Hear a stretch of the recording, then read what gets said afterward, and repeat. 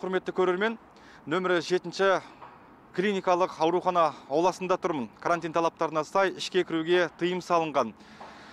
Медицина саласындағы соңғы жаңалықтарды жеткізейін.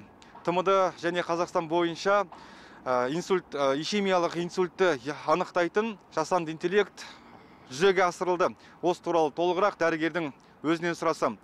Қайырлы таң рауан мейрамұлы жалпы инсульттің алдын алатын болсақ бұл жағымды жаңалық екен расында. Осы туралы толығырақ өзіңіз айтып берсеңіз. Қайырлы таң.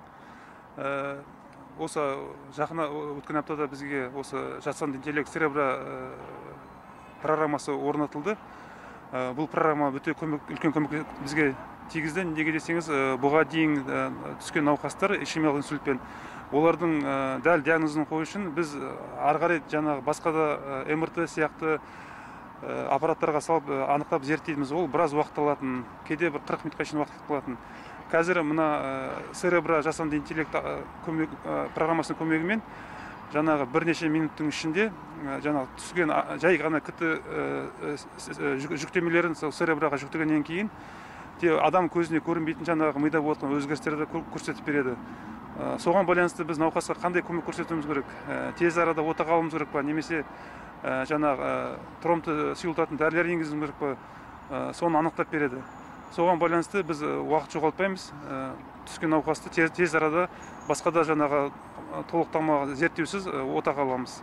Енді жалпы бұл бағдарлама іс жүзінде жүзеге асырып көрдіңіздер ме? Операция деген сияқты. Иә осы церебра жасанды интеллект орнатылғаннан кейін бірнеше сағаттан кейін бізге бірінші науқас түсті. Ә, ол науқастың жаңағы ә, церебраға жүктегеннен кейін жаңағы қан ерітуге болатын қан ерітетін дә- дәрілерді енгізуге болатыны үш, үш сағат уақыт бар екенін көрсетіп берді. Біз жаңағы сол қан ерітетін дәрілерді құйып көргеннен кейін бір сағаттың ішінде қайтадан церебраға салған кезде жүз пайыз жаңағы нәтижесін көрдік. Одан кейінгі екінші түскен науқас жедел түрде түсті. Ол науқастың жаңағы сол жақ аяқ қолы жұмыс істемеді есі анық емес есеңгіреуде болды. Өте ауыр халдегі түскен бізге.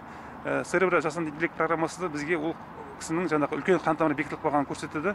Ол науқасты біз дереу отаға алдық.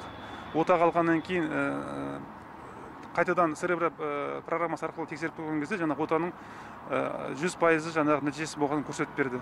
Науқас қазір жағдайы жақсы аяқ қолының жұмысы қалпына келді. Осы аптада бұйыртса ары қа- ары қарай жаңағы реабилитациялық емге ауыс- ауыстыруға жос- жоспарлап жатырмыз жалпы бұл бағдарлама қалай жүзеге асырылады? Науқастар квота арқылы келу керек пе? Қандай жағдай жасалған?